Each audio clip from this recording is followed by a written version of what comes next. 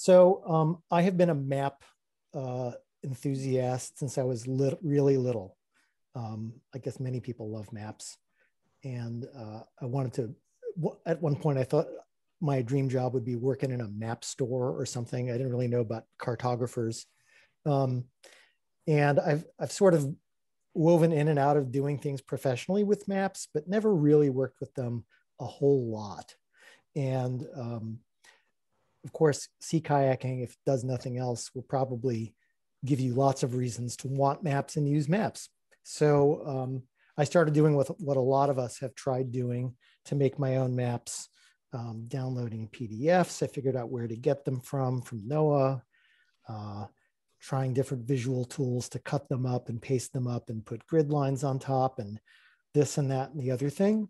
And um, then I heard about, um, I had used real map making software a couple of times for work, but really only very incidentally.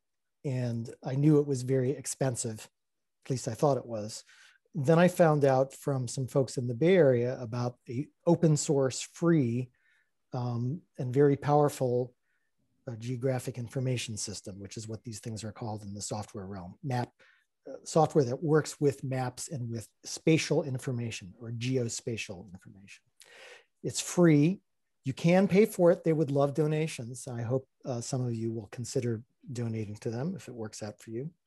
But um, I've been working with this program QGIS for about a year and it has quite a steep learning curve. And what I've tried to do is use that time and my programming background to uh, adapt it and make it much easier to use for the specific purpose of creating um, trip plans and charts for us, for kayakers.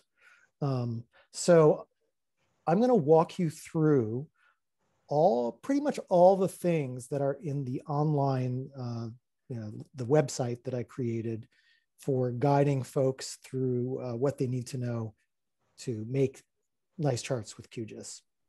Um, and as many of you know, if you read your email this week, uh, we had a lot of problems um, accessing some of the resources that had been working great right up until the weekend um, that uh, from NOAA that are really valuable.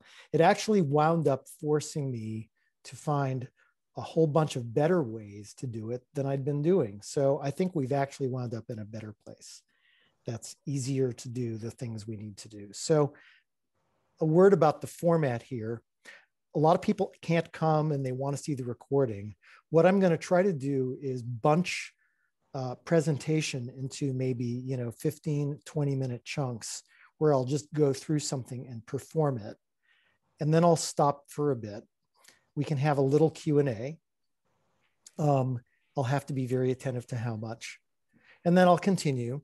I expect we'll get through it all because it's actually not um, I'm not, I'm not going to be breaking you out into groups or anything, and we're not going to do exercises together. It's just too complicated to herd a, a largish group through that. Um, so my goal is to come out of this with having walked through it in front of you. You've all seen it. You can ask some questions, and there will be a recording to refer to so that for folks who either weren't here or um, if you want to polish up, you know, your technique afterwards, and walk through the things. You've got the video now as an additional resource. That's that's my idea. Sound good? Any questions before we start? cool. All right. Um, I'm going to share my screen and we'll get going. So let's minimize junk that, whoops, I meant minimize, not maximize. Yeah. Sorry, so much stuff here that you don't need to see. All right. Um, let's open QGIS. I'm not going to go through the installation. Um, if people have had problems installing, uh, we can deal with those later. So here's QGIS. And uh, let me also get a nice uh, browser window open. on um, the little website. Here it is. So um, I'm going to just literally do the things that are in this website, but I'm not going to always, I'm not going to always have this page up. I'm just going to use it to kind of as, a, as an outline for me. And so that I can actually download the things the same way you would download them. So I'm going to begin by downloading the sample project. You may notice it's changed its name yet again. It's now Workshop Template 2 because I changed it again today after I found a way better way to do something. So for all of you who got template number one, there's now template number two, which is way better. Let me download it. And uh, there it is. I can open it up in QGIS. I could use the project menu and just say open and you know browse my way to it. In fact, there it is. What I'm going to do first, though, is copy it somewhere else because that's really a good idea as a first move. So um, let me just sort of move it into, let's make a new folder. Joe? Um, yep. Can I ask one quick question? You bet. Yep. Do, do, you want us to ask questions as you're going or do you want to I, I would like you to maybe uh, note note questions for a little bit and I will stop every now and then and ask you. Okay. Ask for questions. Um, but right now, all I'm doing is um, making up just a place to put this project. So workshop project. I hope the type on my screen is not too small. So if I downloaded it before it stopped working, I mm-hmm. have the wrong download now? Yeah, you, everybody okay. should re-download it again after this. Yeah. Okay, so I here is the file that I just downloaded. I'm going to move it to a brand new folder.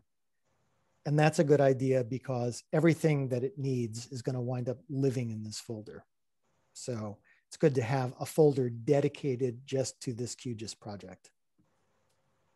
Okay, from here, I could open it. And uh, I think on most computers, you can also just drag this file out of this window and drop it onto the QGIS application. And if you do that, it will open up. And there it is.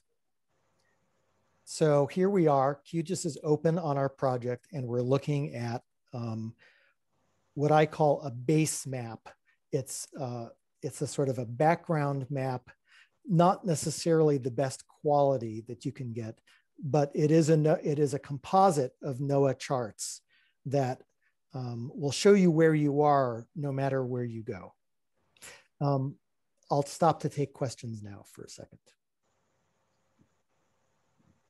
Someone had a question before. Uh, I actually just, my question was really more what, what you called a template was just a project file. So it was some kind of, I, I'm kind of asking, but making sure that just yeah. what you were saving there was just, here's a map that I saved.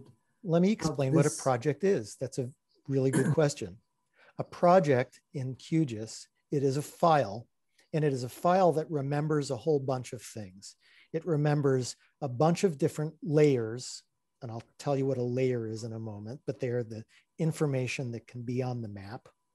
Um, there are many different layers you can have, you know, like satellite or street maps or grids, lots of different layers that you can put on top of each other and turn on and off. So that's one thing that, that a project is, is it's a, a layer collection.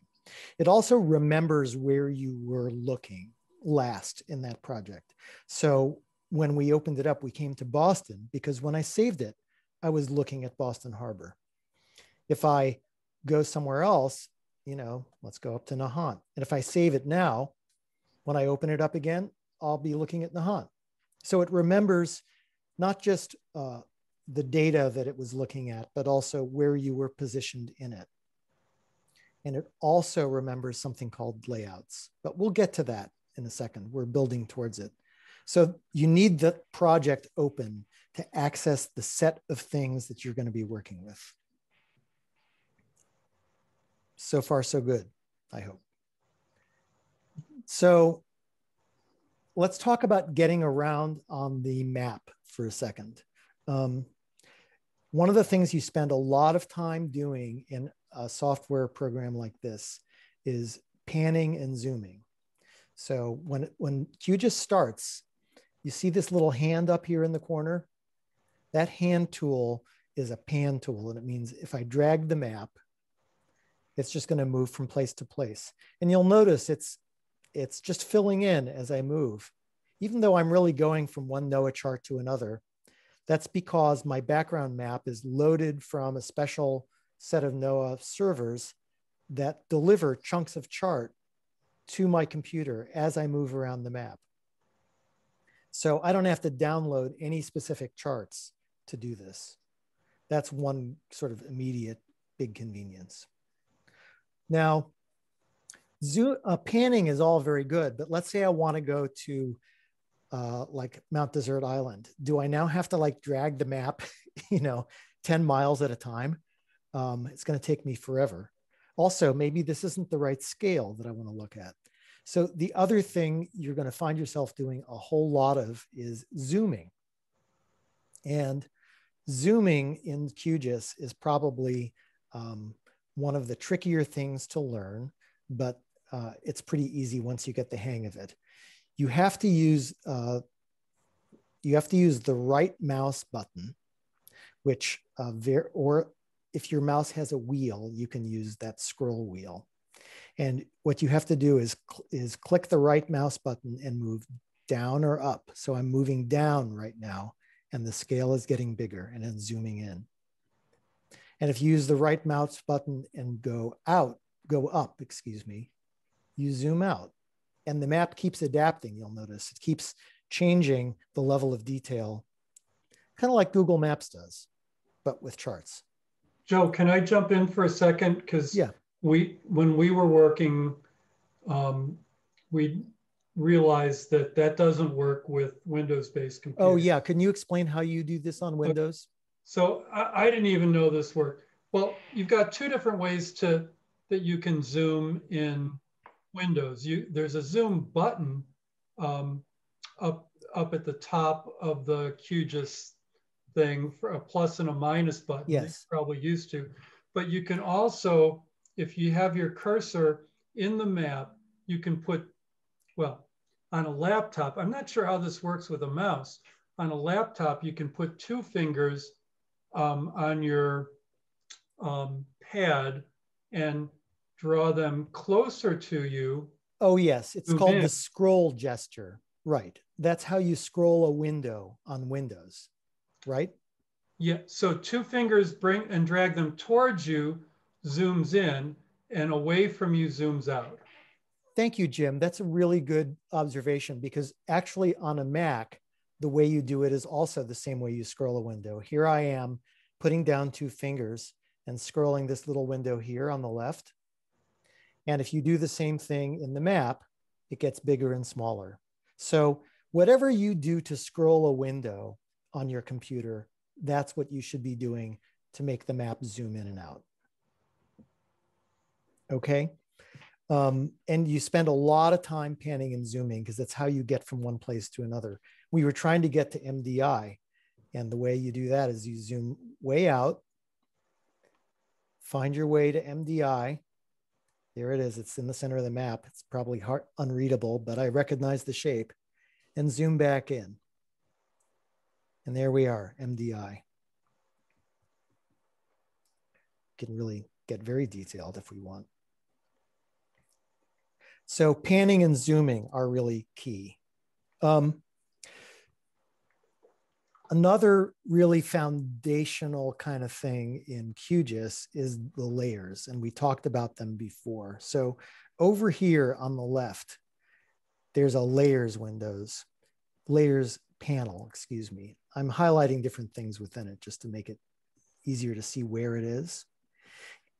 Each layer has a checkbox and the checkbox says whether you can see it or not. So right now, NOAA raster charts is checked. So I'm looking at NOAA raster charts, the sort of background for everything. If I turn it off, this is what I see, nothing. I have no idea where I am. And there are other layers too that you can turn on and off. So there's, uh, I've put a couple of standard issue layers in here because they're helpful to have. You can have satellite, This is Google Maps satellite view of exactly the same area, or uh, OpenStreetMap, which is a street map.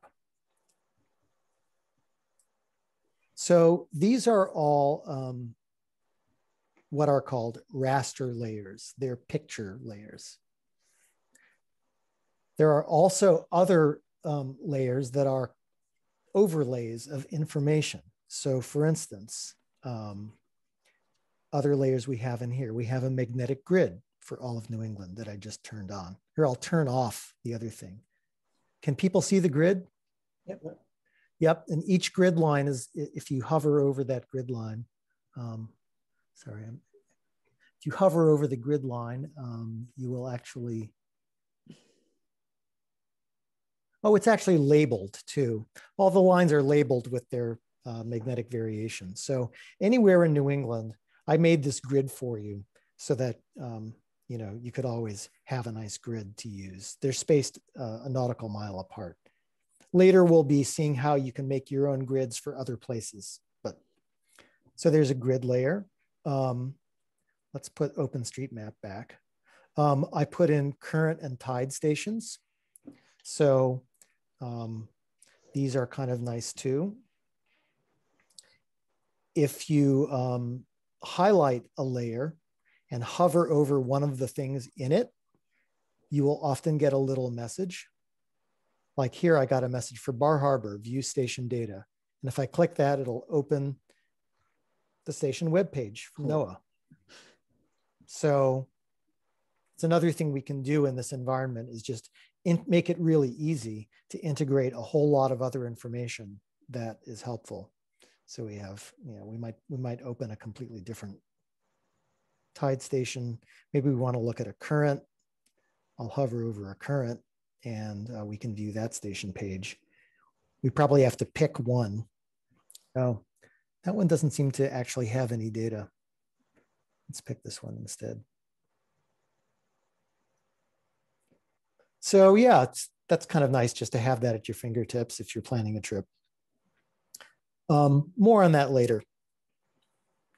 And uh, finally, we also have an overlay, and this is important for our workshop, of uh, the rectangle, the shapes covered by all the specific NOAA charts. So um, we'll see why those matter so much in a moment. But I think first, after a pause for questions, we're just going to go ahead and actually make our first map, um, printable, printable map. So um, yeah, questions really, so far? Really quick question. The yeah. reason these vary these eight or nine super useful things are available is because you built them pre into the template, right? Yeah, I, I built them into the template, and in some cases, um, did some did some programming to make them um, very accessible. So we'll, we'll get into that a little bit more. But I've built these things and put them together and made them interactive for you guys. It's not like this out of the box. If you open QGIS out of the box, you, you see blank space. yeah. I got a basic question, then uh, a yeah, little more involved David. question. The basic question is, I saw that you were single clicking on, say, a a tide station and you saw some data. I I have the hand currently.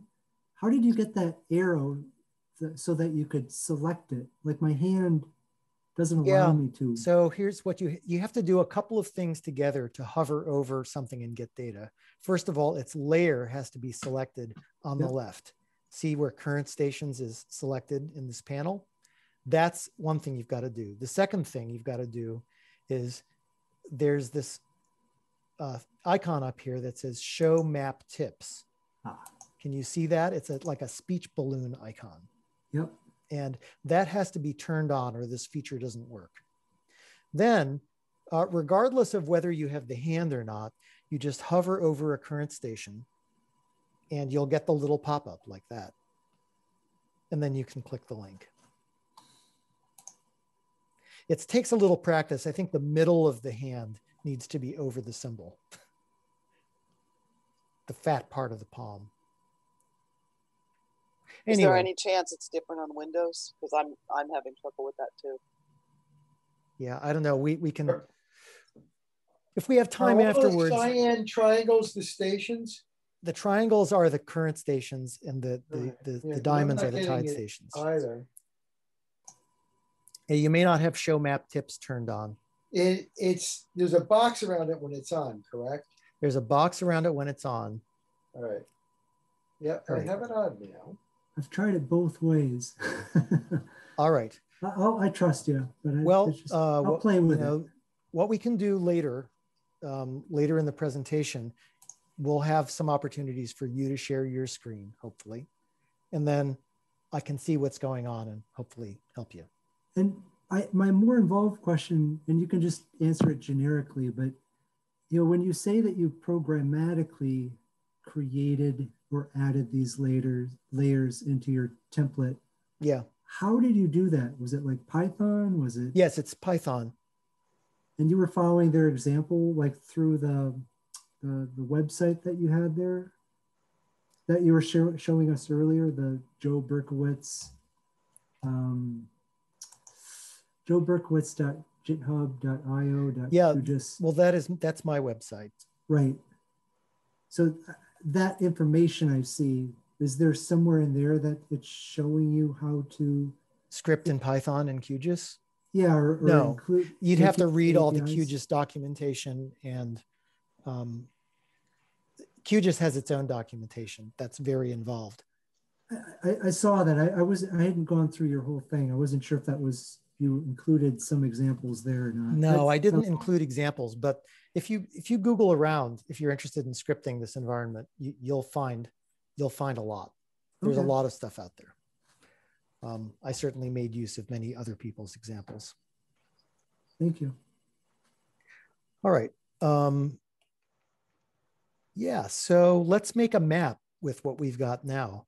Um, maybe we can just try making a map of the Cranberry Islands off of Mount Desert. So, um, and here they are. Not in a whole lot of detail. Um, you'll notice that this sort of background basic map that we have, it, it keeps adjusting its detail and when you look at an area, you often don't see enough detail. Like if we zoomed in, we'd see all the, you know, the good stuff about what's going on around the cranberries, where the ledges and the rocks and stuff. Looking at the area that we want to make a map of, though, it's all blanked out. But don't worry about that. We're we're we're going to deal. So this so far, what I've shown you is a great tool for just browsing navigational charts and browsing information related to them. But that's all we're doing is browsing. You can't print from this screen. This screen is just a view, sort of like a, an overview. Um, it's not something that you can make a PDF from. To do that, we need to make something called a layout. A layout is a special object in your project. It has its own window and its own kind of, um, it targets a spe- specific area of your main map. So that's what we're going to do next is make one of those. So following the uh, the same instructions that we had uh, um, that we were working from before, I'm going to just do the same thing it says to do. Open the layout manager. And I've given you four basic layouts. Um, two different scales, two different orientations. They're all 11 by 17 you can change all those things, but these are the combinations that I've found most useful. Wait a minute. Yep. I don't even, oh, oh, layout manager. Okay. Yeah. Gotcha. So I'm going to pick the one I want and I'm going to just go for um, maybe portrait, no, landscape 1 to 50K. That's sort of the larger scale of the two. I'm going to click duplicate and give it a name, cranberries. And up comes my new layout. And wait a minute, why is it showing the Isle of Shoals? It's because I copied a template layout. It's not showing the right area yet. It's remembering the area that the template was pointed at, kind of like the way the project was pointed at Boston Harbor when I opened it. So we need to change this to point to the right area. The very first thing we're going to do is click the map to select it.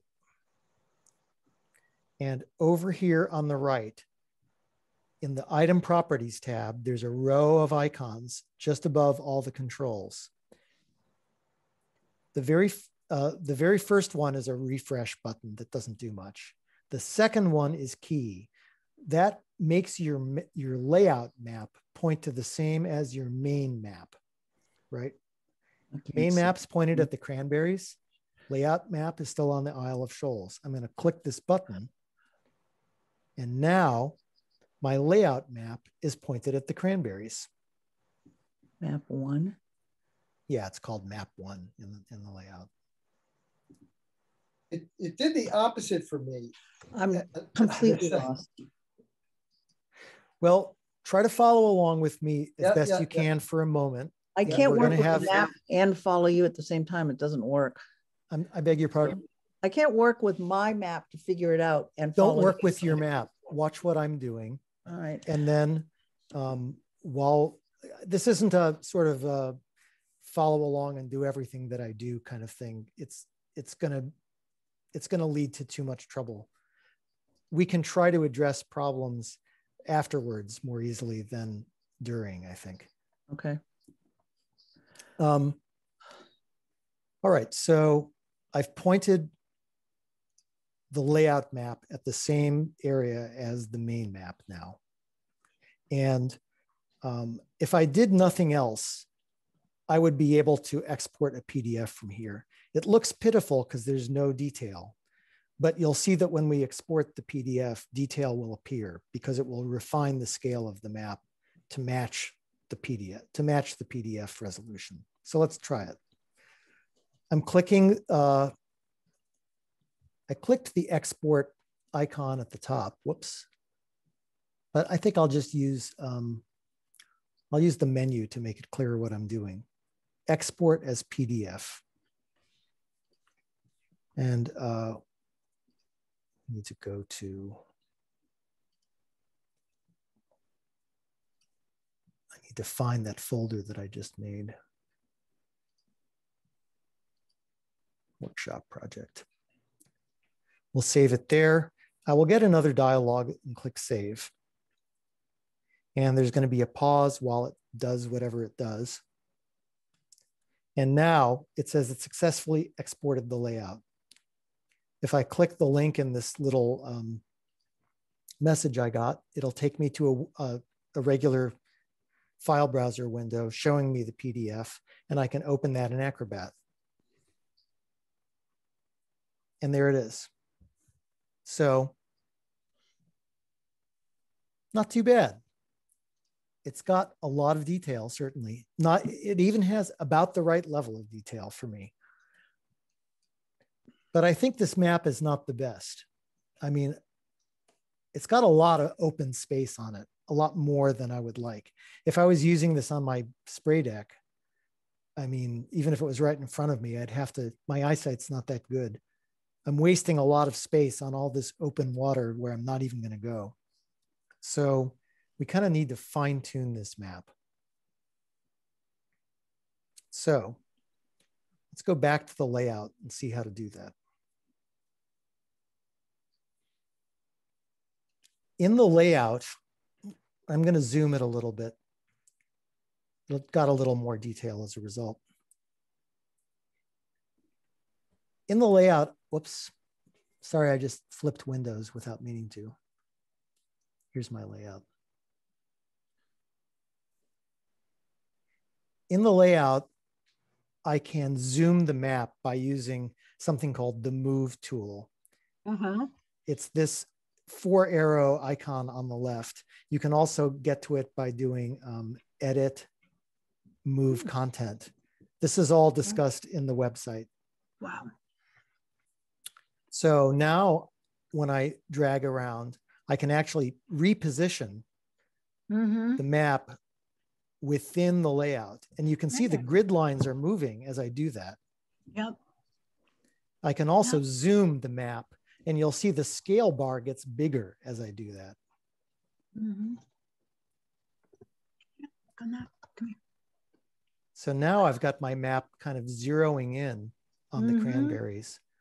I'm, I'm going to go back to the regular pointer tool and get Mhm. my scale bar back into a place that that looks good because it's it went off the map when I did that. Mhm. Let's also make our title nice. Stop.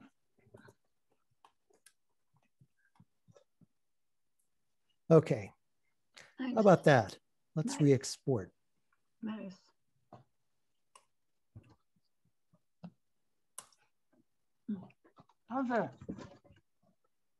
That? Somebody wants attention. Mm-hmm.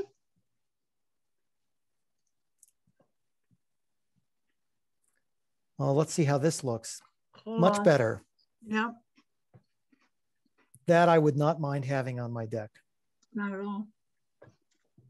Cool. So that's the fundamentals of making um, a printable map in QGIS. And now I can take some questions. You have to have Adobe to print, or will it print straight from here? Uh, I think I wouldn't. I, I've never printed straight from there because I it, it'll it'll want to print 11 by 17. I mean, do you have a large format printer? Yeah, it's got a print icon. I guess it'll print. I've never tried it. Um, I always export it to PDF so I can look at it and see if I like it first before I waste ink on it.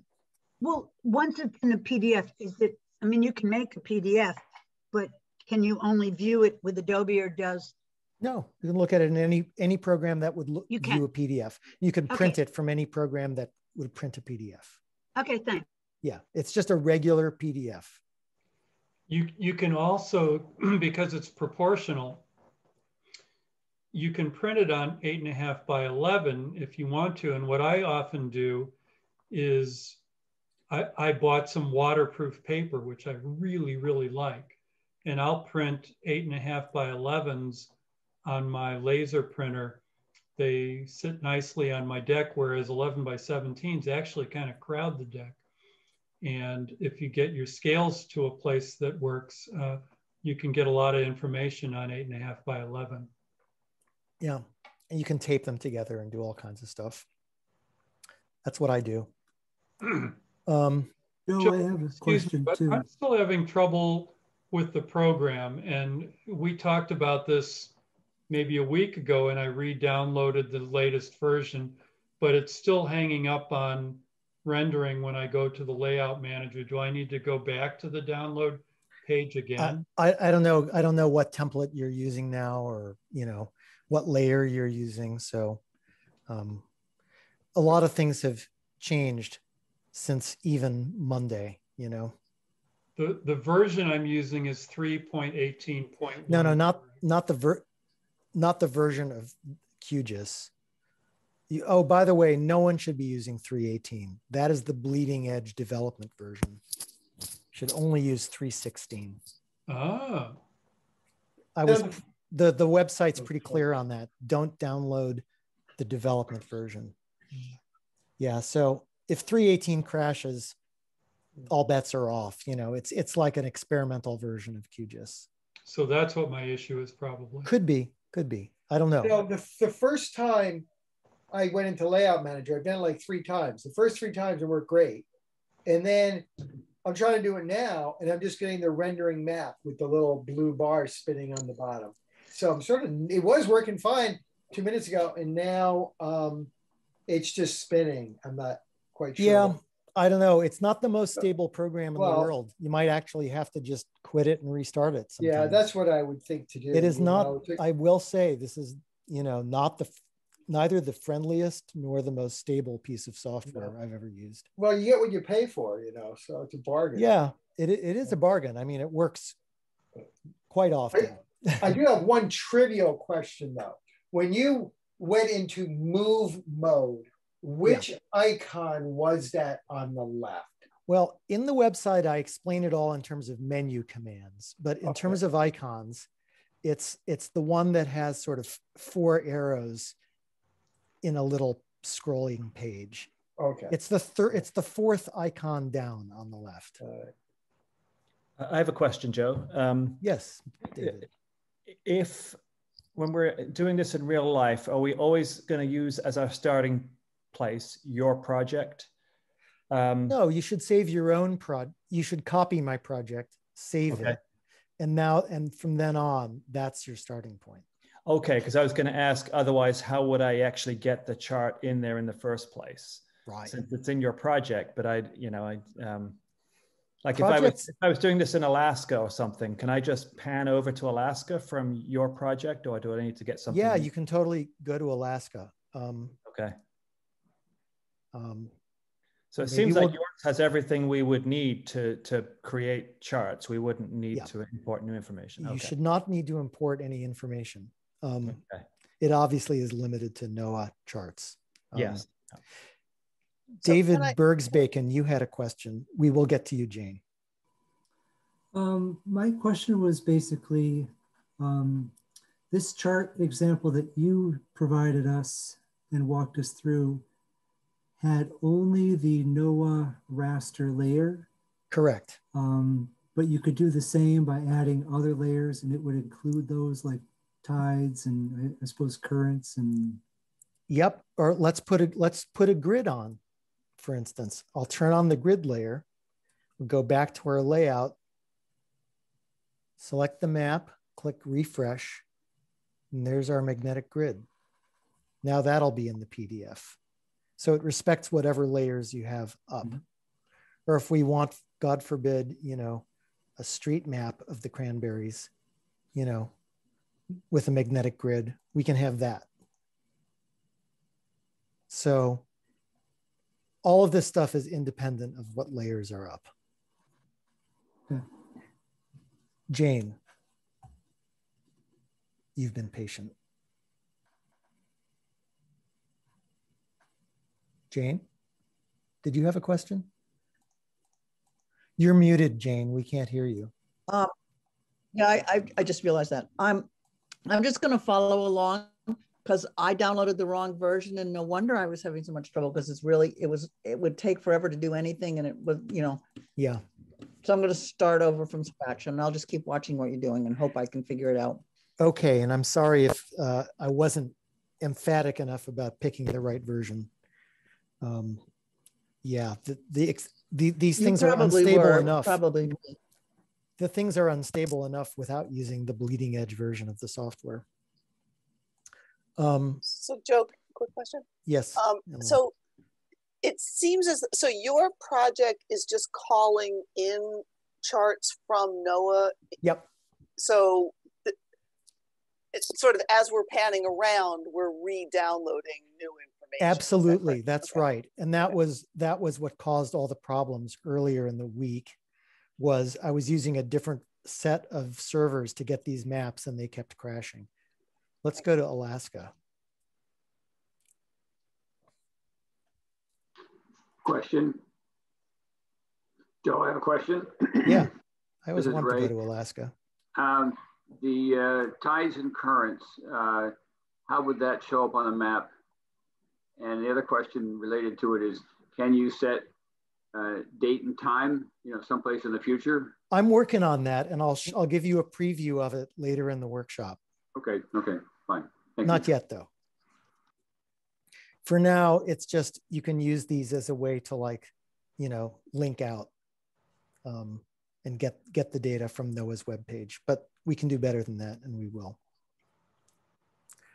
Um, Joe, Joe, is it possible? Um, and uh, if if you just want me to look at the the recording, that's fine. But you showed in your example also like honing in on the Cranberry Islands through the the, the template, you know, zooming and panning, mhm. and then you went to the layout manager, and then you uh, selected map, but it showed the Isle of Shoals. Yeah. How did you get it to refresh to showing the cranberries again? Let's do the same thing here in Alaska. Let's uh, make a layout of this strait that we're looking at. We'll do this one in portrait mode. Okay, here's our new layout. It's not showing the right, again, it's Isle of Shoals, which we don't want. The first thing we need to do is select the map. I'm just gonna click in the map, bonk. Now on the right, there's a tab called item properties. And the very first thing in that item properties tab is a row of little icons. The first orange one, which shows an, an arrow kind of curling over a cube or something. It's really hard to see what it, what it is. The very first orange arrow icon changes um, changes this map, changes the layout map to show whatever the main map is. And what happened just now is really funny. Like, did you see how it all looks gray? Mm-hmm. That's because the grid lines on this map are so dense. I didn't realize how zoomed out I was in the main map. That's kind of hilarious, I guess. No, wait, I'm not that zoomed out. What is what's going Joe, on? if folks are having a time, hard time getting that item properties to show up, at least on my Windows, I had to right click and get a drop down menu for item properties. Oh, like just clicking on map didn't. okay, it. so I, maybe that's something that I already had set up and didn't understand exactly how. Yeah, but if you haven't set it up, you can click on it, right click, and then it'll give you item properties as an option. In fact, also weirdly, it's not really working for me right now. Like it's giving me a map that's much, much too zoomed out compared to what I'm looking at in the main map, which is like this. And this is just doesn't seem right. Um, could, could you actually repeat that again? Um, is it JLo? So I, because I'm not getting item properties at all. Like, okay, let me get rid of it and bring it back again, and that'll be instructive. Yeah. So, hold on a second. Sorry about all the window flipping.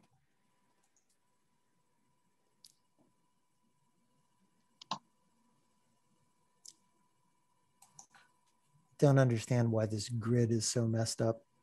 Um,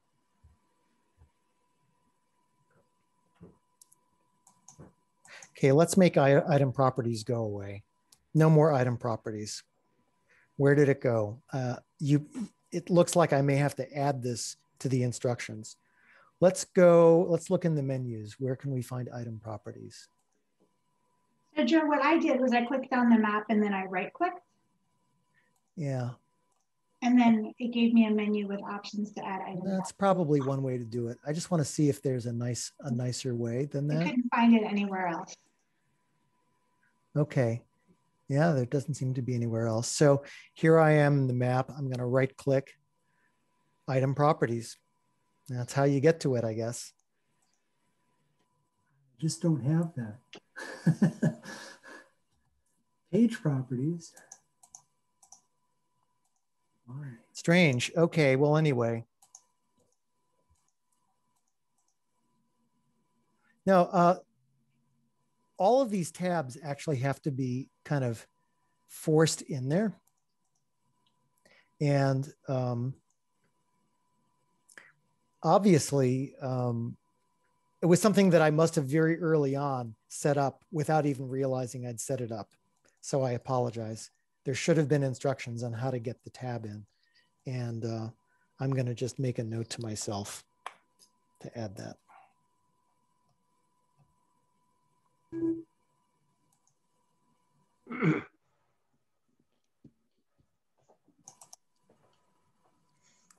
Okay.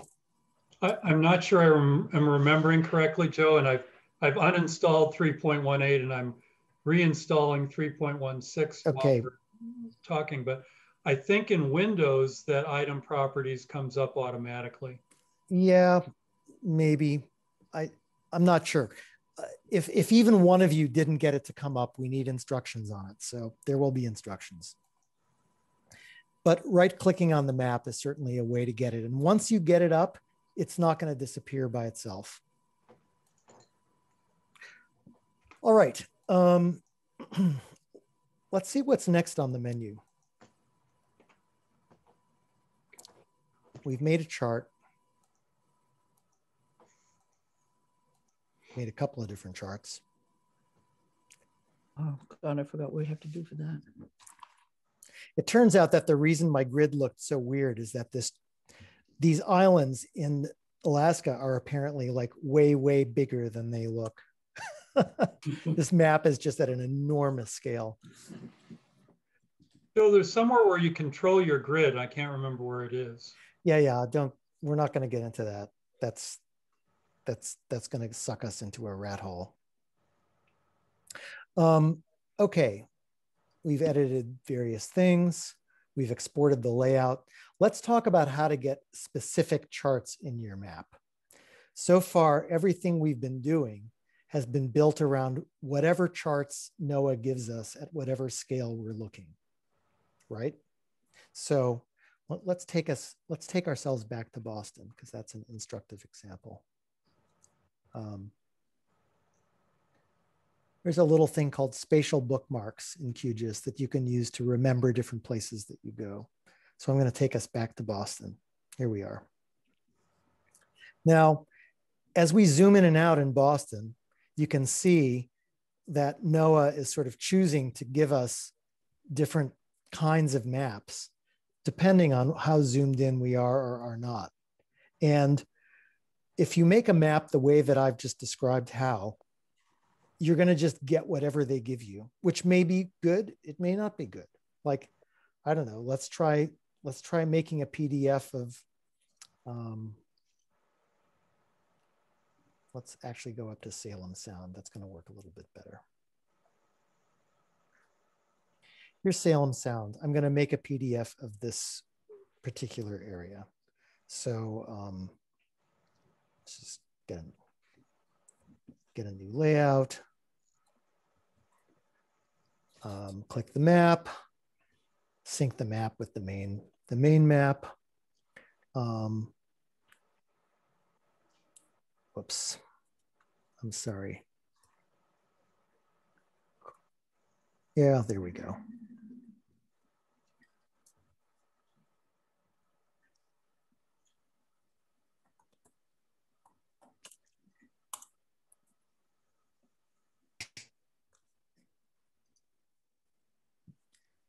We don't really one one issue is apparent right away. We don't know what we're getting right?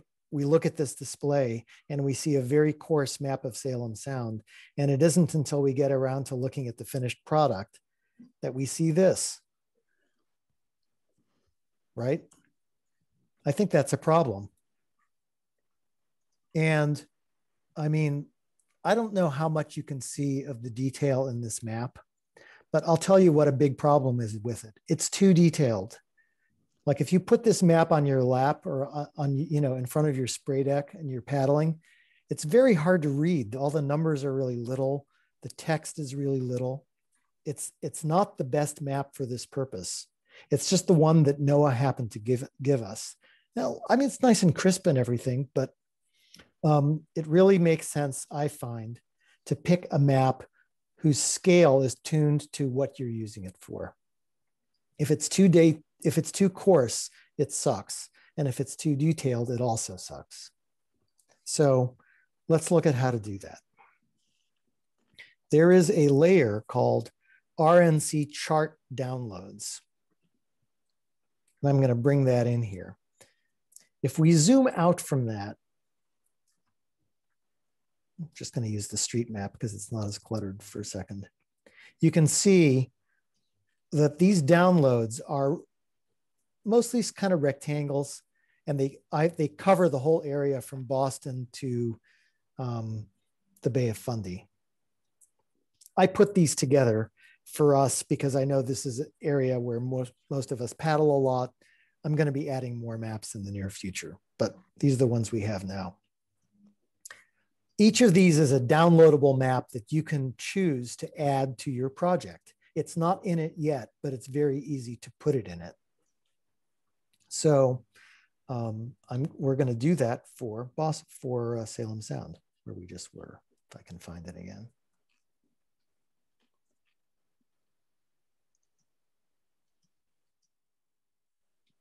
Okay, so there are a bunch of different maps that intersect this area. And we're going to use a new tool in QGIS called the Identify tool. It's uh, you can get to it two different ways. You can use um, let's see, what is it? Edit or view? It's either view, identify features is one way to get to it. You can also get to it with this little eye information icon tool up at the top. Identify features. There's a key shortcut for it too. When you right click an area with identify features, it'll show, and, and this is the other thing you have to do. You need to have that layer selected in the layers panel. It will then um, show you all the different things that exist at that location. And we, you can see there is actually four different maps here. There's one at 80,000. It's highlighting, it's very big rectangle. There's one at 40,000, that's kind of on the diagonal. There's one at one to 25,000 and there's one at one to 10,000. Those are all Salem sound maps that we can have. So we need to pick which one we want. And I'm going to tell you as a rule of thumb, I find the 40,000 map is nearly always the best one. So, but we don't have, we can experiment. Let's begin by, again, as I said, um, right clicking the area you're interested in, find the map that you want to work with, and start by going to preview map.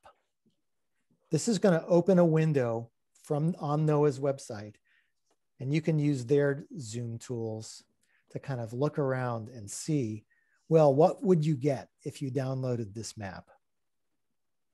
And the answer is we would get about this level of detail. I kind of love that. It's not too detailed, but it's got all the nav, mar nav markers on it. It's got some depths. It's got channels. You know, it's got most of the things I want. Let's look at one other one in preview mode just to see what we would get. I'll right click again. Whoops, accidentally just regular clicked. so irritating. Sorry. I'll right click again and let's look at the, um, let's look at the 25, the uh, 25,000 map. So we'll preview this one.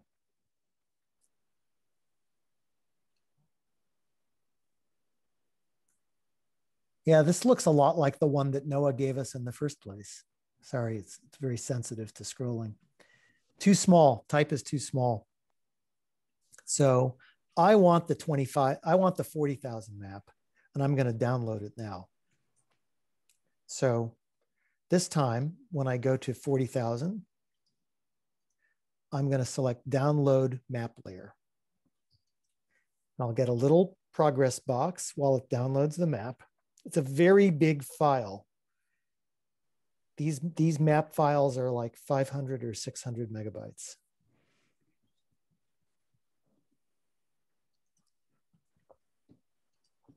Because they're not compressed.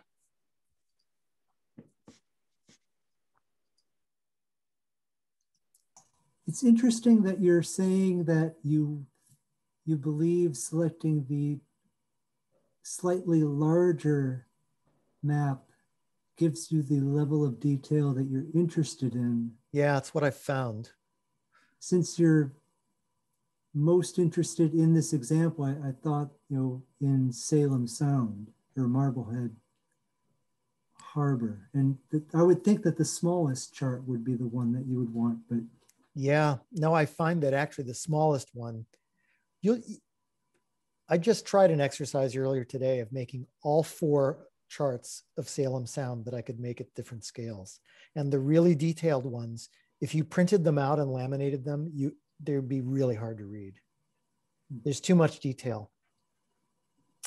Um, okay, so we got our download and you can see now over on the left, we have a new layer. Hugh just made a new layer for us with just this map. If we turn off everything else, that this is the only thing in our universe now.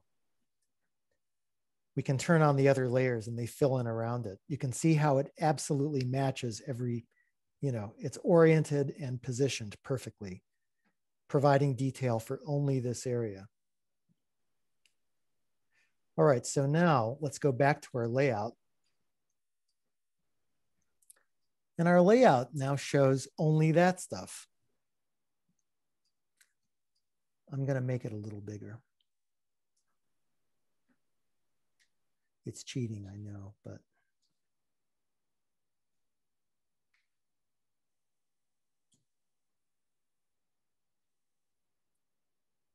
And now if I export this, let's call it Salem Sound 2.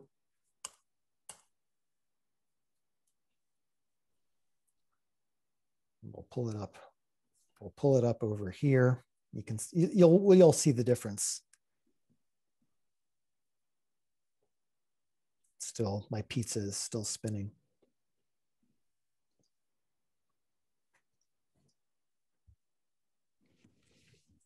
There we go.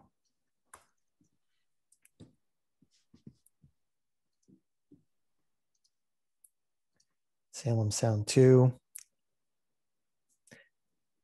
Acrobat doesn't want to show me the file right away. I have to make it smaller and bigger again, and then it comes in.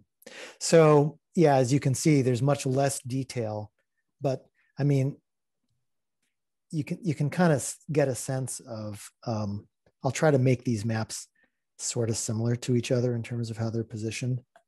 You can see the difference.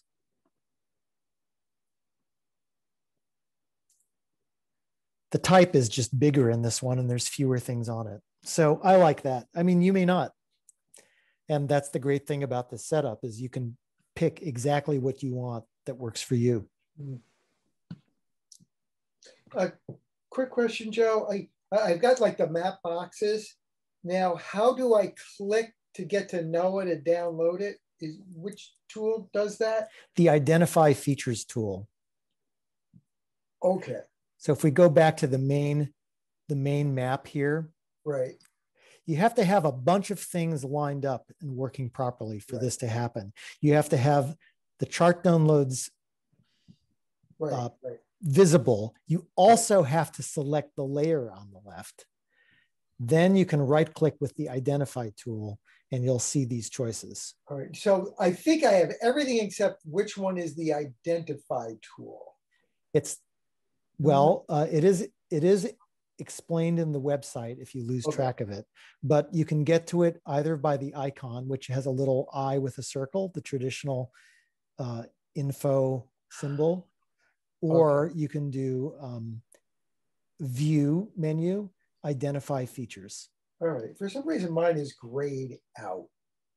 Maybe you. Uh, that's weird. And I and the blobs are purple and boxes yeah. are purple. The default is that we don't have that RNC chart downloads layer is the default. Well, actually, the thing is, I'm trying to figure out how to add. No, you must be having an you must have an old version of the template, Janet, because I just added it today. All right. Okay. I just used it today. Hmm. You don't I just have. I just used that template you sent today and I don't have it either. Yeah. Um, if I look at my Except I do template, have it all. I have a New England chart footprints template, but I don't have an RNC chart. Yeah. All of you folks must be looking at NSPN workshop template with no number two on the end. Okay. All right. All right. Yes, correct, correct. All right, all right. That explains. You're not you're not playing with the latest deck of cards, but all that's right. okay. I changed it on you today. Yeah. Very unfair. I did that one already. Yeah. Very unfair of me. Yeah. Where, where's the new one? We appreciate you anyway, Joe. Yeah, yeah, I did it. I did it to make it easier for you. That's my only excuse. Stop mailing out versions and put it on GitHub, and then just leave a link to GitHub. It is on GitHub. It is okay. Yeah. Right. Yeah. The problem is, well, anyway, yeah. this this way of chart of downloading charts with one click was just added today. And I thought it was such a good feature that it was yeah. worth jerking you around a little bit. So Jane, you were looking at the old template, I assume, right? Yeah, I guess I am. Yeah. All right. So we've now covered um, making custom charts. And uh, I'll just show you a couple of other things. Let's let's go to another part of New England. Sorry. Can't can't use this program either.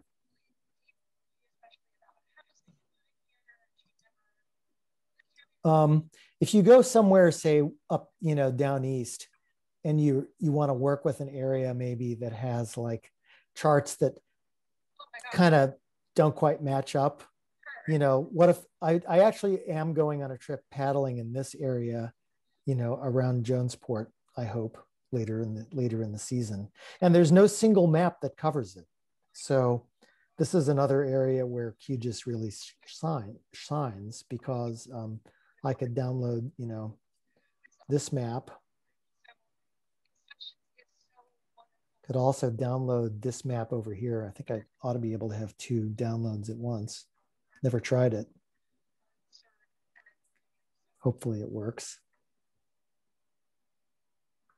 Sorry. We'll see what happens. Anyway, those two will wind up matching just perfectly on the on the chart without any manual positioning needed.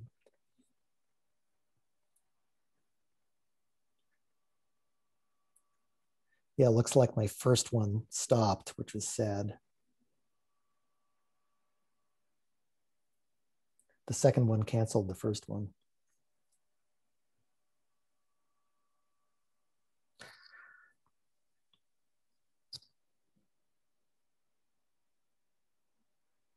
And this will bring up an interesting issue with layers that um, this is the reason I wanted to show it to you. Okay, now we've got those two charts side by side. See them? Mm -hmm. And as we zoom in, it's going to be really, you can see where the seam is, but it's harder and harder to spot. It's right in this area. Like if we really come in close, you'll see where some numbers got cut off and you can you can even turn one one on and the other one off to sort of see where they join. And you might decide let's say you, something did get cut off like this number 43 say you wanted to see i'm talking about this area here there's a number that's cut off. Say you wanted to uncover that you could change the order of the layers by dragging them around. I didn't talk about this yet but it's important. So i'm going to move the one that's on top under the other one by dragging it. And now that piece is uncovered. Things can cover each other up. So if you don't see what you expect to see, it could well be that it's just hidden. For instance, if I have OpenStreetMaps up, you can't see it now because these guys are covering it. It's back there. see? It's behind them, but if you're zoomed in, you don't know it's there. Only if you uncover them or reorder will you notice that. So beware of layers obscuring each other. Also, don't export maps with many layers on top of each other, or the resulting PDF will include all of them. You won't notice it, but the PDF will be huge and it'll take a long time to open. So only have the layers visible that you're really working with.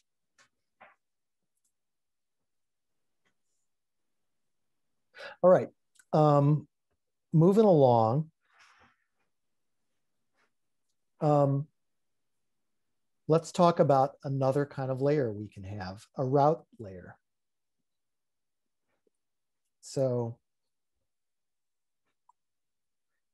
maybe I should maybe I should take a few questions if there are any. Any burning questions? We're still going to try to do a little troubleshooting at the end. So, um, so let me just mention that again for for Windows users, I tried getting the information from the tide and current stations, and I can't figure out how to get it in Windows. Hovering over them does nothing. Well, you don't just hover, hover you have to click, but we'll we'll put that in our troubleshooting hat and okay. try to get to it at the end because that sounds the same as Dave Bergsbacon's um, issue. I'm kind of keying off of the class that we had around um, you know weather and, and tides and currents and, and all yep. that for navigation. Mm-hmm. So, you know, could you? I mean, I see there's tides and, and currents here, tide stations and current stations. Yeah. Could you add, say, something like a weather layer into this or yeah i'm kind of experimenting with doing that uh, it's it's uh it's something you can research too. And, and we'll talk about that a little bit um, down the road. Alrighty, um, let's talk about waypoints and routes. So waypoints is a layer that I put in so that you can just add markers. Let's turn it on. There's nothing in it. And um, let's say I want to add a marker. Let's say I'm going to launch from right here. Well, I don't know if you can see where my cursor is. There is a launch right there, I gather. Right on Moose Neck where that road ends. So I'm going to select waypoints. This I'll be moving fast, but I'm not doing anything that isn't already mentioned in the website. First of all, I have to turn on editing in my layer, which I can do by going to layer, toggle editing. They really made this inconvenient. Now I have to go to edit and say add point feature, which is another kind of tool for adding one point at a time. So I'm going to click where I want my point feature and I'll give it a label. Put in. And now here's my little marker. It says put in. I can click again somewhere else if I want some other feature. So there's my other feature. Just turn off the background so you can see them. So you can add your own features uh, for whatever purposes you want. And they remember where they are, they're, they're in their own layer. I haven't gone into this, but you can you can change the way layers look. If you didn't like the red cross, obviously, you know, well, why not a, how about a red cross? Um, how about not a cross at all, but some other thing like a, I don't know, a star. there are a lot of choices in this program, so uh, I'm not going to get into all of that, but um, you have a lot of control over how things look. Um, now I want to talk about route layers because this is really one of the cooler features that uh, we can do here. So um, we're going to use something called a plugin, which you will have to install. There's, there's an explanation of how to do it, in, again, in the website. It's called the Compass Routes plugin, which I wrote. Um, I'm going to take it out just so that I can put it, in, show you how to put it in. So I'm going to uh, quickly uninstall it. Okay, it's gone. So here's how to install the plugin. Again, you don't have to memorize this. I'm just going to do it in front of you. Open the plugins window. You have to go to settings and say show experimental plugins because this is not a sort of official baked in plugin yet. Um, and then you will go to not installed and search for the word compass routes. And there it is. Author Joe Berkovitz, that's me. So we'll install it. This is going to download it, download it from the QGIS plugins website and put it in our copy of QGIS. Once it's there, it'll stay there. It's not part of the project it's going to be added into your copy of the QGIS application.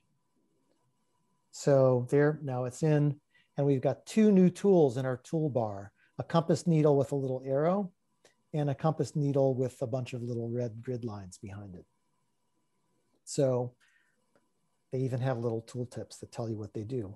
One of them is called Create Compass Route Layer. So um, I'm going to do that one first. It brings up a big dialog in which you don't have to say anything except run. And once you run it, it creates a new layer called routes that we have over here. And routes is a layer that can contain lines. So add line feature. And now I'm going to add a line from here to say here. And that line automatically gets labeled with distance and magnetic bearing. So figures out, you know, where magnetic north is in this location. And it also knows, because it's a, this is a geographic app, how long the arrow is in nautical miles and what the angle of the line is. So you can put routes together here. And each of the legs will be labeled for you automatically. Nice. And of course you can print those. It's a little finicky, like you have to do a sequence of left clicking and then left clicking again and then right clicking. It's quite annoying. But once you get the hang of that, you can make routes that way. And of course, these can be printed. They're a separate layer again on top of everything that turns on and off. So that could go in that could go in the map that you then print from your layout. Um, this the other function of this plugin is if you were somewhere else, like Alaska, for instance, um, where you didn't have grid lines that I already made for you, you could make them. So um, let's say we wanted to make grid lines for this area.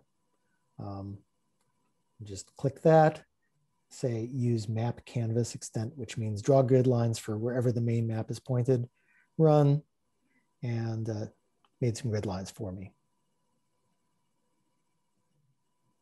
And I guess they are uh, 16 degrees off in this area.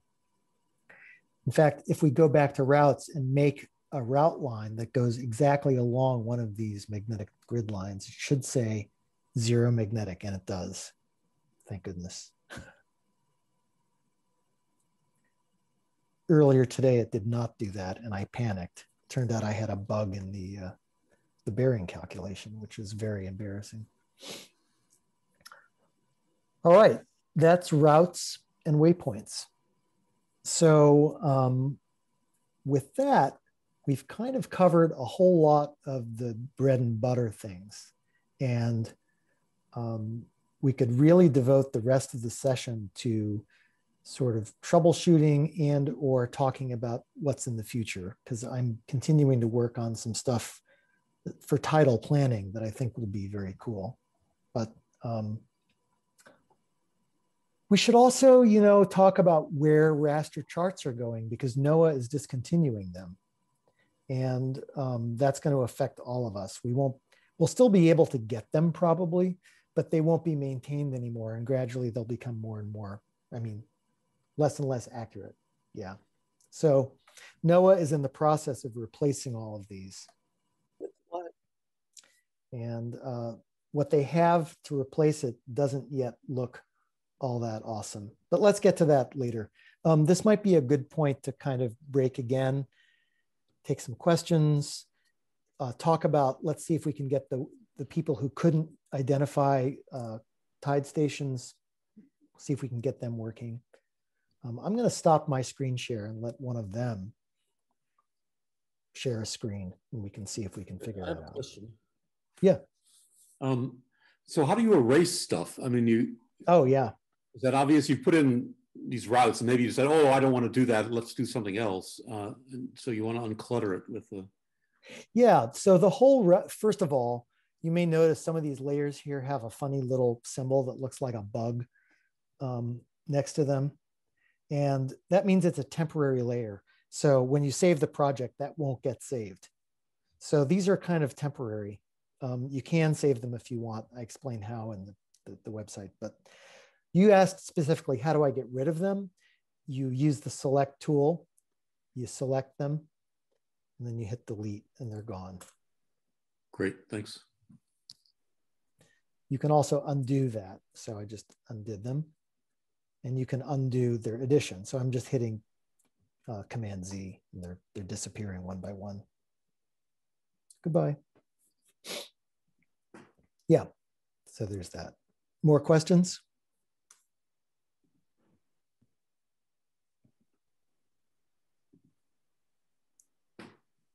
David Bergsbacken. Um, do you want to see if we can figure out how your identify tool is broken?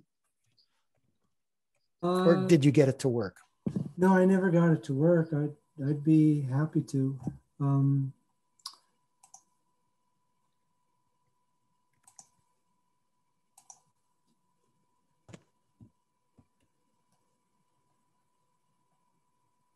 uh, do you see my screen? I totally see your screen. Okay. So I um I turn on the tides and currents.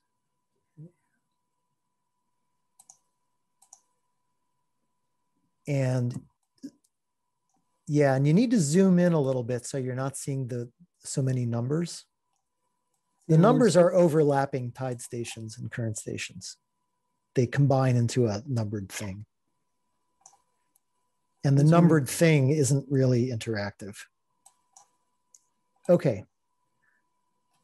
Well, I just wanted to go to your example because that's what you had. oh, okay. But uh, I can't see any tide stations now.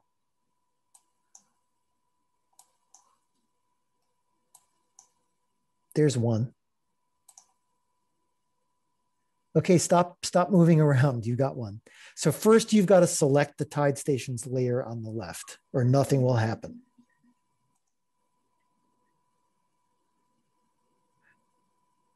Try, there you go. Ah, Now move you the hand, caref- carefully move the hand down until it's over the link, view station data. And probably it opened up a Chrome window. Can you open up Chrome and see if it made Chrome go to that place or? Yep, it did. No, Okay, that- so the difference apparently is it doesn't automatically open the window on your machine, but it did create, it created it, it just didn't bring it to the front. And that's probably a difference in the way that Windows manages Windows. The, the thing that I had noticed on, on your setup is as opposed to mine, and, and there may be something different I have versus you, but I swear in your setup, whereas right now I'm showing, and I'm not moving it, it's it's just a hand. But I swear on yours you had an arrow. That's probably because I was using a different tool. I might have been using the identify tool or, um, yeah, I was probably just using a different tool. My, I, sometimes mine stays a hand also. Uh, I've noticed the same thing. So I was trying to find that that tool, the selector tool, but I Maybe that's just the current station. So, so I was having Yeah. the same trouble, um, but I, when you just went through it again, in addition to having the check, I thought you just had to have the check mark next No, to, you need to actually that- select that. right, and that made all the difference. yes, it does make all the difference. It's very, very fussy that way. yeah, It, I mean, it bites me all the time. I'm like, it's not working. It's not working. Oh, I didn't select the layer. right. Yeah. So what happens if I do that? I select tides and currents, and then if I go and left click on one of them, it centers it. And if I right click on it, it asks me if I want to copy the coordinate. Yeah. Well, David, uh, David B, why don't you unshare your screen so we can see what Jim is doing? ah sure. Because I don't trust anybody when they talk about what they're doing. Very distrustful.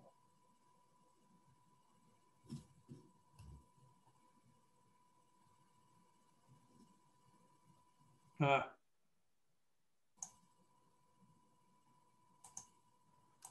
All right. Now I'm gonna I'm gonna tell you what to do. So don't start.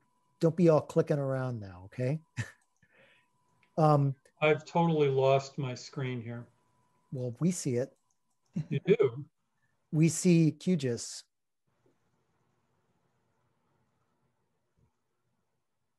What have you lost? I've lost everything else. But oh, I see what's wrong. Okay. So you see my cursor moving I around. see your cursor. I see your innermost thoughts. Okay. Um, so first of all, before you do anything else, click the show tooltips icon at the top. It is the little speech bubble icon, third from the right in the top row. Um, well, Third from the right in the top row. Because my, it's hidden. No, oh, we see right it. there. It's right there. Oh, it's hidden by your own screen sharing thing. Right, right.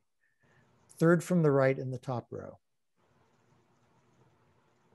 This There we go. Yeah, it was hit. It was probably covered up by your screen Yeah, sharing. it thingy. was. Okay, next, let's look at a current station. Select the current stations layer. That means you're going to click the name current stations in the layers window. No, that's the, that's the group name. Click current stations. That's a layer, right? The other thing is a group. Now hover. violently. Ah. So I can't get them both at once. No, you can't get them both at once. That's correct. All right, so that makes sense. It And I don't know, um, it's probably sent some browser somewhere to go look at that it, page. it did. It opened up in Chrome elsewhere. Okay, good, good. I, I have two screens. All right, so QGIS isn't totally broken, and we figured out that Windows just behaves differently. Joe, I just tried to do the plugin for routes and Yeah. it's when you get to I get to this far as clicking the box for the experimental, whatever you called it. Um, and there's no place to search. Yeah, you, you don't search there. You search in not installed. Okay, I did that. That's what I did sort of found that and I found it, but it didn't install it. Okay, so um, share your screen. Oops, I gotta go to you guys. Share screen.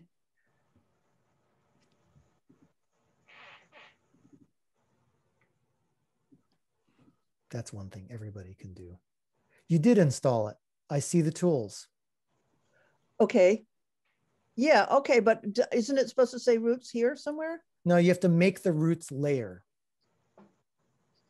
With the So- left, not that that's the grid one, but that makes a layer too. There you go. Now Oh, click so- run.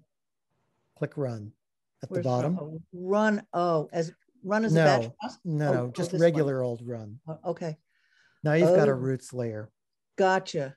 And the It's routes not- layer, it put it in a bad place, as you can So I see. can move it though, You can move it. Yeah. You move it somewhere else. There you go. Yeah. Okay, so now the other thing is, uh, since you're looking at my screen, you had a whole nother sort of windowy thing like this. Yeah, but I it didn't use it and you don't need it. Okay. I just was, I was getting confused by that too. All right. Thank it's you. probably another thing that I added without realizing I added it. Okay. Joe, I Okay. got distracted when we were doing the routes thing. Is that covered in the, Yes. on your website? Yes, it's covered. I'll figure it out. And you can always ask me.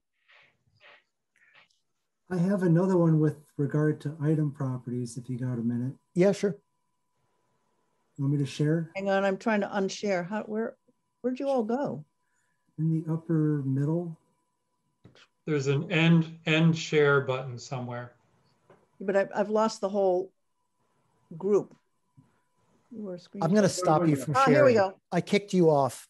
Oh, okay, great. Thank you. You're welcome. uh, let's see. Oh, we have a new person. Um, so you can see my screen? Yeah, I can see your screen. Okay, so if I go to Layout Manager,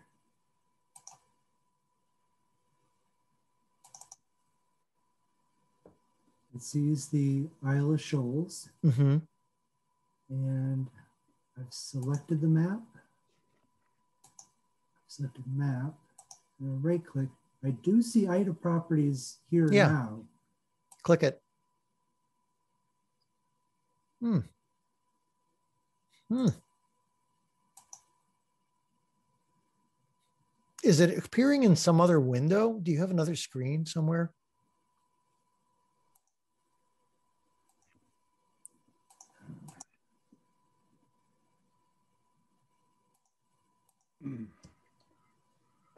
I know of. really quite bizarre. Um, oh, hmm, I noticed your. Can you close? Make the window smaller, if you would. Make the layout window smaller. Uh, sure. Just switch back to the layout window and make it smaller. Okay, there's your item properties. Oh, Select the map. And it was floating, was what it was floating under something. So, David, stop for a second. Stop for a second. Take that, I grab that item properties header and drag it and make it dock in the bottom of that panel. Just drag it around. You can get it to kind of stay there. There you go. There you go. Now it'll stay there. Now select the map. just select the map by clicking regular alt click. There you go. You got it for a second.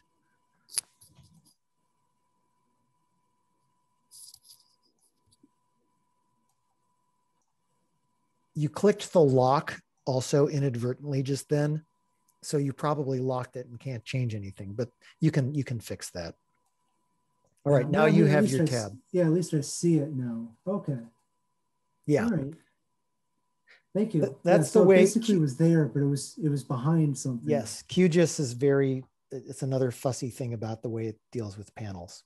All right, given that we don't have that much time left and people are starting to leave, I want to take a minute and talk about the future a little bit. So um, the first future I want to talk about is NOAA's future. They seem to have one, which is good. Um, so I'm going to look at, we're going to look at a different project now.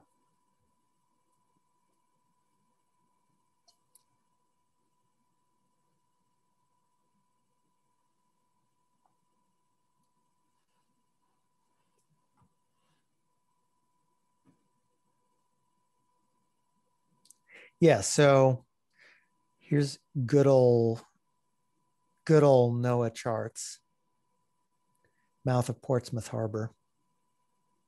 And you can't believe how much work goes into these charts. It's just it's un, it's unreal how much how many man hours went into them. Um, but they can't keep pouring all that time into the printed charts and deal with the digital world, which just gets bigger and bigger and bigger. So surprise, they're digit they're ditching the printed versions and they're going to put more and more work into enhancing the digital ones. So they have a prototype of that, which we can look at. It's not, it's not going to make you super excited to look at. I mean, it's a lot uglier and harder to read, in my view. But uh, it has some things going for it. I mean, it's always sharp at every resolution. Yeah, and if you're at the helm of a 400 foot tanker, this is probably all you need. Yeah, I mean, and you have look, you've got all these different options of things you can turn on and off too, which is kind of cool. You can't do that with a printed chart. So you can have, you know, just the seabed, the land, you know, pipelines, traffic routes, um, you know, different areas. You can turn all the lights and markers, you can turn them all on and off. That's pretty nice. Um, you don't always need all of them all the time, I guess. But the typography has got so many problems right now. It's like very hard to make out the labels for many things. Like over here, you've got this light here. I mean, the, the label for the light is exactly the same size. It's even smaller than the depth markings and go look at the printed version of that. It's really easy to read, isn't it? So they've they've got some work to do, but they are doing the work. Um, you know, they know that they've got to they've got to step up. So. So um, if you're interested, they have uh, a prototype you can you can look up uh, NOAA print on demand charts. It's kind of a little prototype they've put together. It only does the new style charts, but it does print on demand. So you could actually like get a PDF of any chart area you want, as long as it's in this format. It kind of does the same thing that we're trying to do here with QGIS, but on a, in a website. But the output format looks like this, and it's it's pretty hard to use compared to the old style ones. But I think that is the future. Like when they get this looking as good as the old ones, or at least as usable, that'll become a very useful website because there'll be no more finding the chart you want. You'll go there, you'll zoom to the area you want, you'll say, I want a PDF of that. It'll make it and give it to you.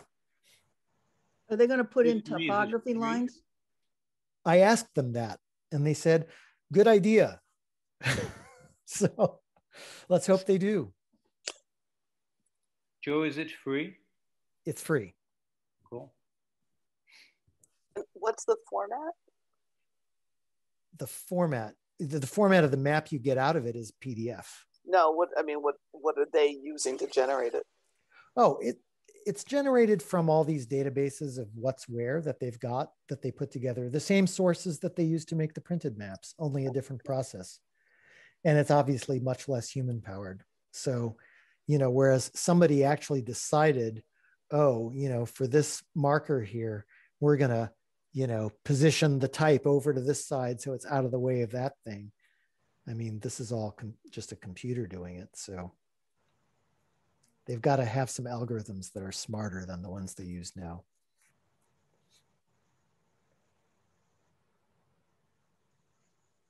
I think there's another, they're, they're forecasting another couple of years at least before they do the switch.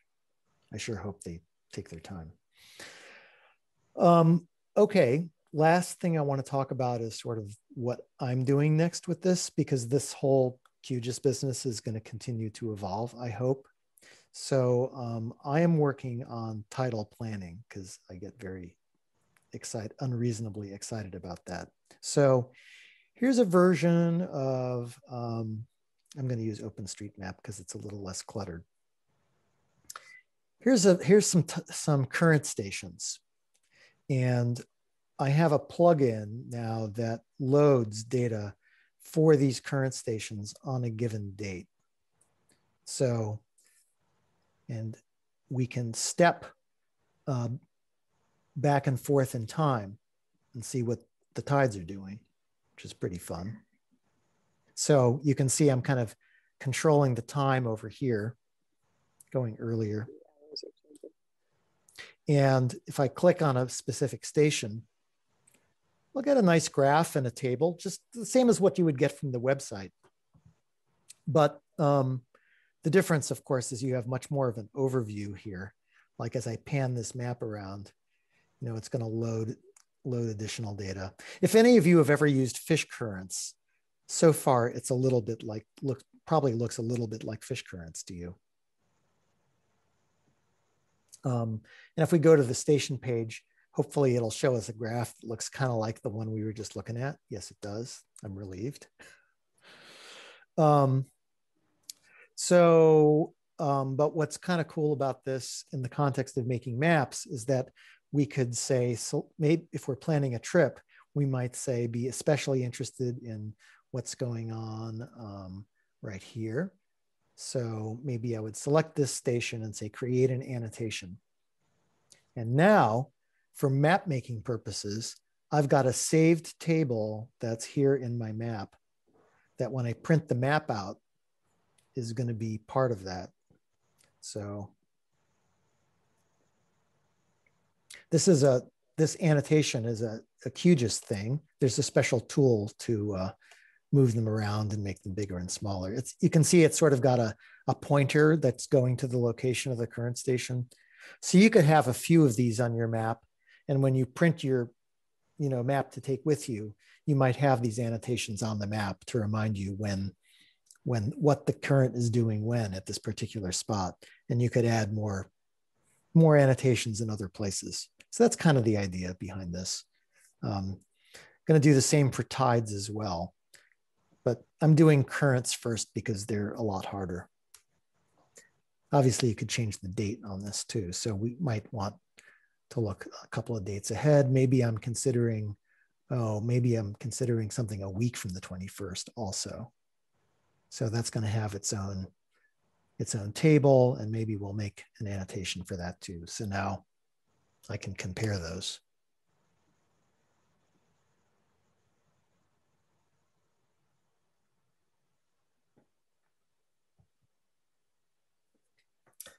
So that's that's next for me. Um, and that about wraps it up for what I wanted to get to. Um, we're a little bit before nine. That's good. We can we can break now, or I'm happy to stick around if folks have more things they want to ask or talk about. Joe, um, is there a reasonably easy way to get things from multiple parts of, of the chart into the same PDF? Like if yes, you there is. There is. If you want to take, you know, like especially if you've got a coast that's kind of diagonal and you want to have like two parts next to each other. Totally. Yeah, that's a great, great question. Um, let's do that. Let's do exactly that. I'm going to make a new layout.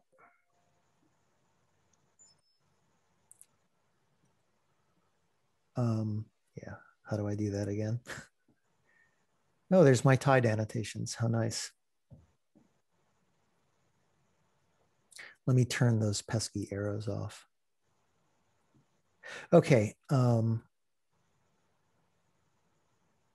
yeah, so let's say I wanted to have uh, some of this map. And I also want something that's sort of nearby. Okay, I'm gonna, I'm making this map a little smaller. It's got its own grid. You may notice. I'm just gonna reposition it a little bit. Oh, look, there's a little screen, screen garbage problem here. All right, anyway, um, looks like the annotations are overflowing it, but let's just, uh, let's just turn them annotations off. It's, there we go. Now, what I can do is actually copy and paste the whole map to make another map, and that one will then pan independently. So um, let's copy this map. I just hit copy. You probably can't see that. And now I'll paste another one. Oh, look, another map. And I can pan this one independently. So maybe this one is going to look, um, maybe this one's going to show Brave Boat Harbor and Chauncey Creek in detail. You know, I'll do a little blow up. It's got its own grid. It could also have its own scale bar. I haven't done that. Um, if we wanted to really fit more stuff, sometimes you might want to rotate the map. It's kind of a cool feature for fitting more in. Of course, the grid rotates too.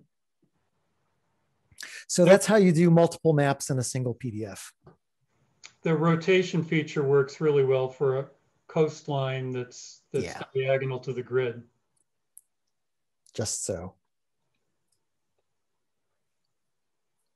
I'm curious, um, like what other things have you thought of or high in the sky things could you imagine with this? Um, you've probably given this much more time than, than we have.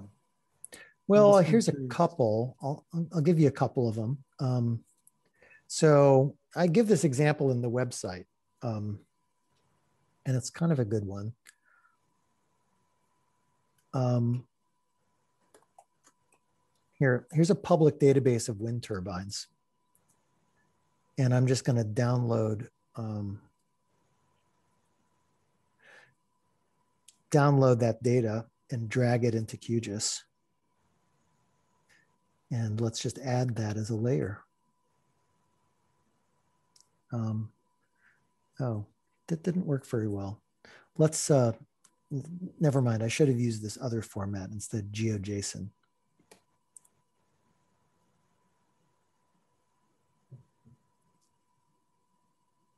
It's going to take a little longer to load. I'm kind of into wind turbines for some reason. I think they're really good for navigation. You can see them from way off. And does New Hampshire have any? Yes. We ought to see them now. Um, they're hard to see with this map. Let's see. I didn't see any.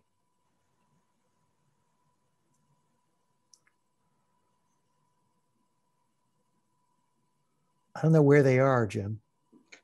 Oh, Yeah, I oh I turned them off. I keep turning them off by mistake.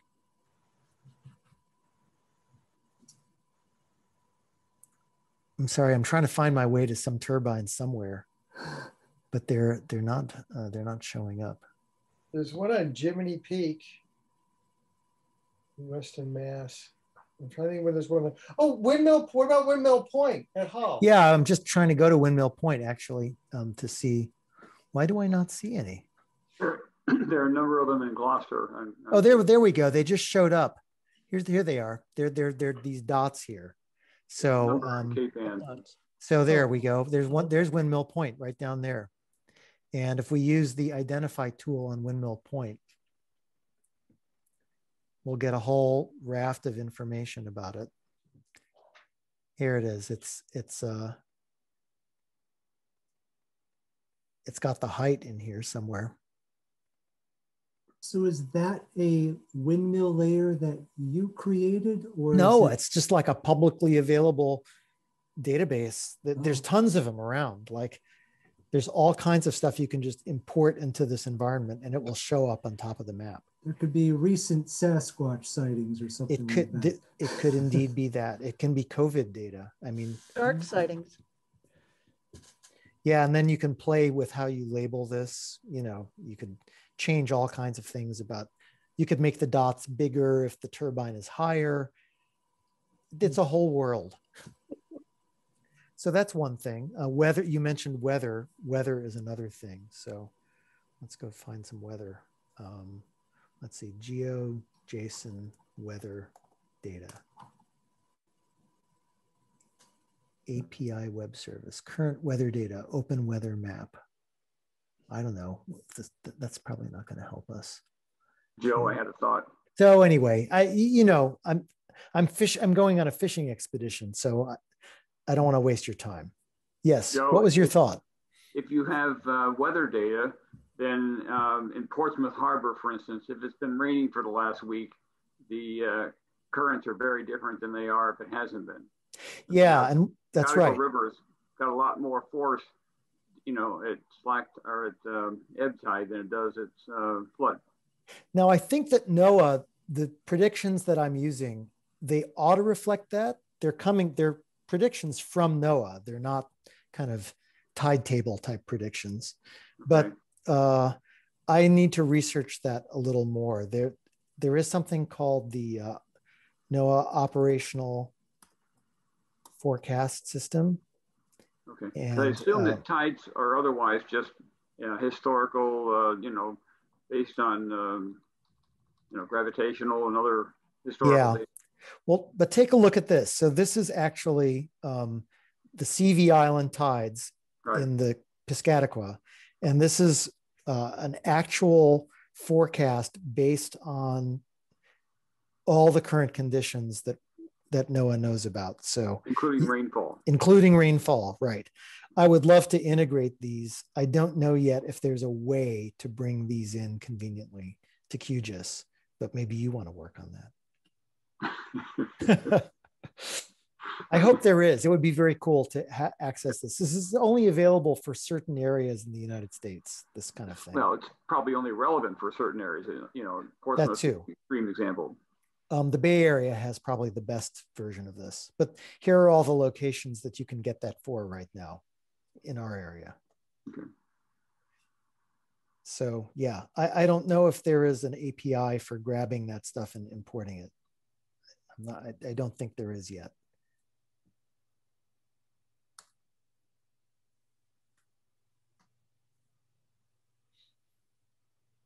Cool.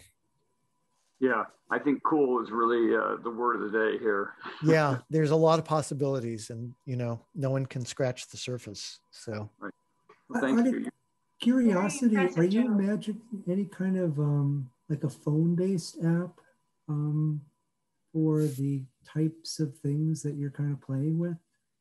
Um, well, there are phone-based apps that do bits and pieces of this, and uh, I'm I'm more motivated to leave it in this environment than to try to get it into app form because to me um, it's hard to it's very compute intensive it actually sucks up a lot of the power of even a reasonably powerful computer so the phone is very good for presenting information mm-hmm. to you it's not as good for searching for correlating for really kind of doing in-depth things so on the phone, I'm happy to hop from one thing to another. I'll go to fish currents for currents. I'll go here for this and there for that.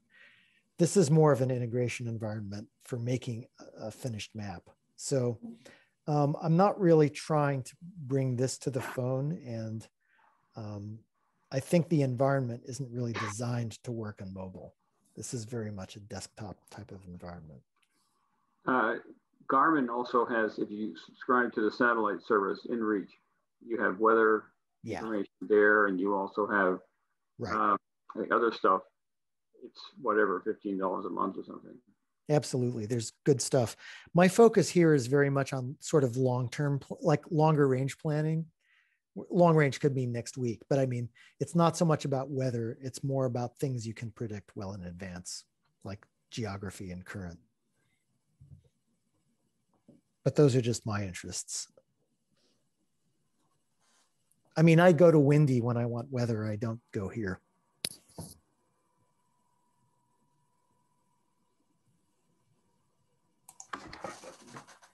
All right. What's windy?